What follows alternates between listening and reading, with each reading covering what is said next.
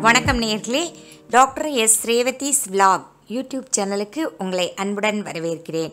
இன்றைக்கி நம்ம பார்க்க போகிற மூலிகை நம் நாட்டில் தரிசு நிலங்களிலும் வேலி ஓரங்களிலும் பரவலாக காணப்படுகின்ற சப்பாத்தி கள்ளி. அதுக்கு முன்னால் நம்ம சேனலை சப்ஸ்கிரைப் பண்ணாதவங்க சப்ஸ்கிரைப் பண்ணுங்கள் கூட இருக்கும் பெல்லைக்கானையும் மறக்காமல் ப்ரெஸ் பண்ணுங்கள் இதன் தாவரவியல் பெயர் ஓப்பன்சியா ஃபிக்கஸ் இண்டிகா இது காக்டேசிய தாவரவியல் குடும்பத்தை சேர்ந்தது.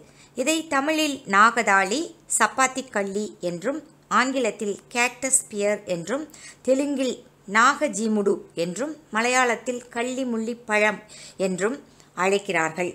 இது தட்டையாக சப்பாத்தி வடிவிலே இருக்கிறதுனால இது வந்து சப்பாத்தி கள்ளி என்று அழைக்கின்றார்கள்.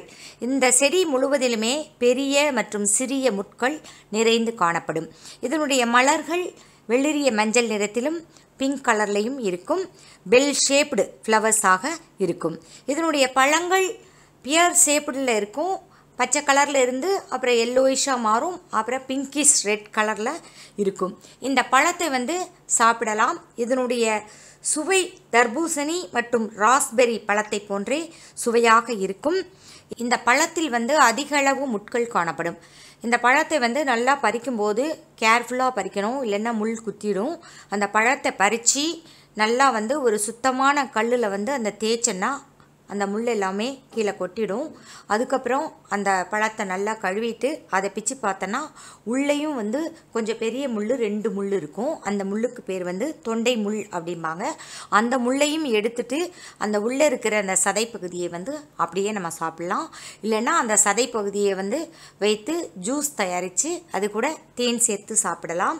ஜாம் ஜெல்லி போன்றவை தயாரித்தும் சாப்பிடலாம். கிராமப்புறங்களில் உள்ள சிறுவர்கள் எல்லாமே வந்து இந்த பழத்தை வந்து பறித்து சாப்பிடுவாங்க. ஏன்னா இந்த பழம் சாப்பிட்ட உடனே வாய் நாக்கு உதடு எல்லாமே நல்லா சிவப்பு கலரில் ஒரு மாதிரி அழகாக இருக்கும்.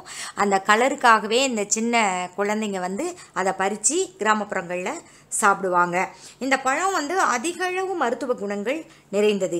இதில் நன்மை செய்யக்கூடிய நிறைய நியூட்ரியன்ஸ் இருக்குது beta carotene vitamin B complex iron calcium potassium dietary fibre phytosterol flavonoids linolenic acid oleic acid palmitic acid போன்ற ஒமேகா த்ரீ ஃபேட்டி ஆசிட்களும் மற்றும் ஒமேகா சிக்ஸ் ஃபேட்டி ஆசிட்ஸும் நிறையா நிறைந்துள்ளது. இவ்வளவு முள்ளாக இருக்கிற இந்த பழத்தை பறித்து எப்படி சாப்பிட்றது? அப்படி கட்டாயமாக நம்ம இந்த பழத்தை சாப்பிடணுமா? அப்படின்னு சொல்லிட்டு கேட்டிங்கன்னா கட்டாயமாக சாப்பிடணும். அந்த அளவுக்கு இது ஒரு அதிக மருத்துவ குணங்கள் நிறைந்த ஒரு அற்புதமான பழம். இப்போ இந்த பழம் சாப்பிட்டா நமக்கு என்னென்ன நன்மைகள் அப்படின்னு சொல்லிட்டு நம்ம பார்க்கலாம். இந்த பழம் சாப்பிட்டோன்னா நமக்கு வரக்கூடிய புற்றுநோய் வராமல் தடுக்கும். குறிப்பாக பெண்களுக்கு வரக்கூடிய கருப்பை புற்றுநோய் மார்பக புற்றுநோய் ஆகியவற்றை தடுக்கும். அது மட்டும் இல்லாமல் நுரையீரல் புற்றுநோய் கல்லீரல் கணையம் செர்விக்கல் ஆகியவற்றில் ஏற்படக்கூடிய புற்றுநோயை வரவிடாமல் தடுக்கும். டைஜஸ்டிவ் ப்ராப்ளத்தை எல்லாம் சரி செய்யும். அதே சமயம் கேஸ்ட்ரிக் அல்சரை குணமாக்கும். நம் உடலில் இருக்கக்கூடிய எல்டிஎல் என்று சொல்லக்கூடிய கெட்ட கொழுப்பை குறைத்து இருதயத்தில் இரத்த குழாய்களில் கொழுப்பு படிவதை தடுத்து இருதய வியாதிகளிலிருந்து நம்மை காக்கும். மலச்சிக்கல் இல்லாமல் பார்த்து கொள்ளும். டபிள்யூபிசி என்று சொல்லக்கூடிய ஒயிட் பிளட் செல்ஸ் உற்பத்தியை அதிகப்படுத்தி நமக்கு நோய் எதிர்ப்பு சக்தியை உண்டாக்கி நம்மை நோய்களிலிருந்து பாதுகாக்கும். இதற்கு வந்து ஹைப்போகிளைசமிக் ஆக்டிவிட்டி இருக்கிறதுனால டயபெட்டிஸ் பேஷண்ட்டுக்கு இருக்கக்கூடிய அதிக அளவு இரத்த சர்க்கரையின் அளவை சமநிலைக்கு கொண்டு வரும். அது மட்டும் இல்லாமல் டைப் டூ டயபெட்டிஸ் வருவதை தடுக்கும். அதிக அளவு இரத்த அழுத்தத்தை சீராக்கும்.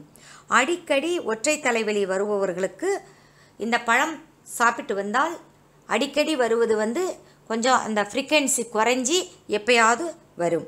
பெண்களுக்கு ஏற்படக்கூடிய ப்ரீ மென்ஸ்ட்ரல் சின்ட்ரோம் என்று சொல்லக்கூடிய மாதவிடாய்க்கு முன்பு ஏற்படக்கூடிய அந்த சிம்டம்ஸ் எல்லாத்தையுமே இது குணமாக்கும்.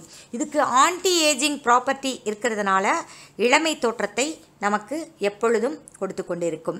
சப்பாத்தி கள்ளியின் மலர்களை பறித்து அரைத்து கட்டிகளின் மீது பூசினால் கட்டிகள் கரைந்து சரியாகும்.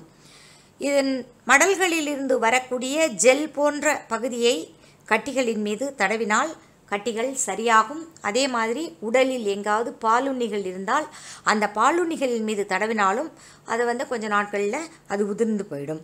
இந்த ஜெல்லை வந்து கொஞ்சோல சூடுபடுத்தி மூட்டு வீக்கம் மூட்டு வலி இருந்தன்னா அதில் தடவுனன்னா அது சரியாகும். அது மட்டும் இல்லாமல் கல்லீரல் மண்ணீரல் போன்றவற்றின் பணிகளை எல்லாம் நல்லா ஒழுங்குபடுத்தும். அதில் ஏதாவது பிரச்சனைகள் இருந்தாலும் அது சரியாகும். அல்சீமர் என்று சொல்லக்கூடிய மறதி நோயை வந்து இது வரவிடாமல் தடுக்கும். அப்படி வந்திருக்கக்கூடிய அல்சீமர் பேஷண்ட்டுக்கு வந்து இந்த பழத்தை வந்து கொடுத்தால் அது படிப்படியாக சரியாக ஆரம்பிக்கும். கண் பார்வை தெளிவாகும். உடல் பருமன் குறையும். யூரினரி ப்ராப்ளம் இருந்தன்னா அது சரியாகும்.